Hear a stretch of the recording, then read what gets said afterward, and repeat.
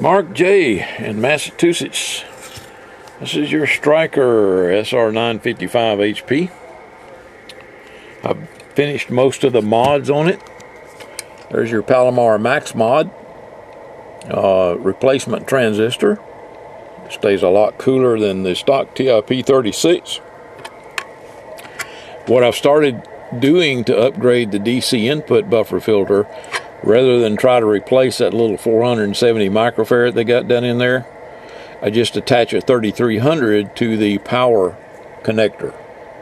Okay, so that's been upgraded to a 3300 plus the little 470 that they have in there, which I think is way undersized. But uh, here's your voltage regulator buffer filter. Uh, for, we upgraded it from a thousand uh, microfarad to a 3300 at 25 volt for the that's for the voltage regulator right there U506 or whatever it is. Upgraded your uh, 10.7 IL filter. And I've done the uh, conversion also done the tune up on the radio already and I'm getting ready to install the uh, SP1A okay? So more to come Okay, got your SP1A mounted there with double-sided tape. And uh, I don't think it's going to interfere with the speaker. I got to double check that.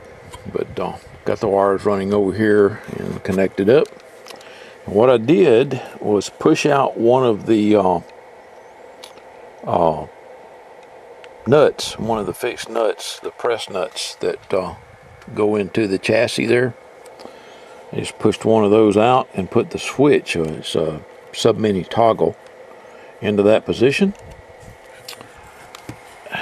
So rather than drill a hole in your cover, we'll have to make the hole in the cover a little bigger though, but you control the SP1A right there rather than put it in the back. Okay?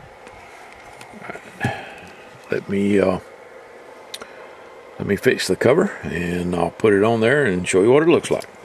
More to come. Okay, Mark. I wanted to show you that I beefed up the runs with solder that supply power to these uh, U2030s. Got them all installed. And they are the 2030 plus. Oh, not just 2030s. If I can get a better shot. You see that? I believe you can. Okay. They are the oh, new ERF 2030s. Let's see. Right there. You should be able to see that really well. There's a 2030 plus. Okay. I need to put the uh, the little power bridge back across these two. That little guy right there. And then put uh, this thing here back on there. Alright, more to come. Alright, got the little power bridge back on there. And boy, these leads sure are close. Better make damn sure that uh, they're not touching. And I did. I checked it with uh, a volt ohm meter and they are isolated but boy are they close. Okay let me put the uh, other thing back on there. Okay got everything put back together now. Of course I did check it out before I put this back on there and everything's copacetic. So be doing some power tests next Okay, that's what it looks like. I haven't put the screws in the covers yet. But it will, you can see that it sticks out just a little bit right there. Just a tiny little bit. And it's the cover's hitting the nut there on the back. But uh, I didn't want to drill that out to clear the nut. You know, didn't want to do that. So there it is right there. It's, it's easy to get to once I get the screws, rest of the screws in the covers. You know, it's not going to move around. All right, let's do a little test. Put this thing on. This, well, actually, I'm going to turn it off. I'm on sideband. I got a 100 watt on that side, a 250 watt on that side. Hello, audio, audio, one, two, one, two, audio. It's about 110 peak. Audio, hello, hello, audio, audio, one, two, one, two, audio. All right, now let's flip this little guy on. Now the SP1A is on. Audio, hello, hello, audio, audio, one, two, three, four, five, five, four, three, two, one. Audio test, test audio, audio one, two, one, two, audio, audio one, two. See, it keeps your average power up now.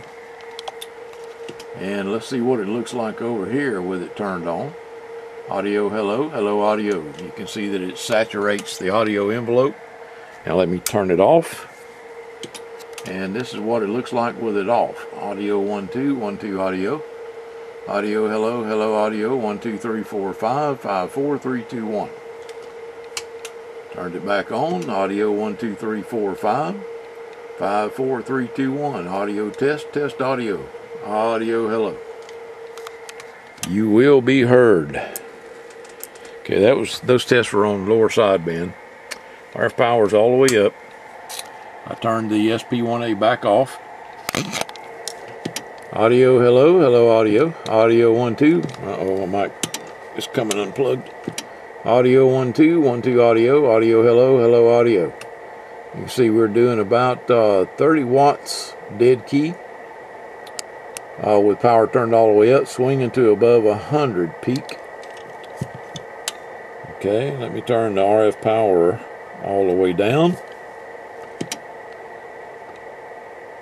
Dead key in what's that, about two, three watts. Audio, hello, hello, audio. Audio, one, two. Now I'm going to flip the SP1A on with power left all the way down. Audio, hello, hello, audio. Audio, one, two, one, two, audio. Audio, hello, hello, audio. Audio, audio, audio, audio, audio.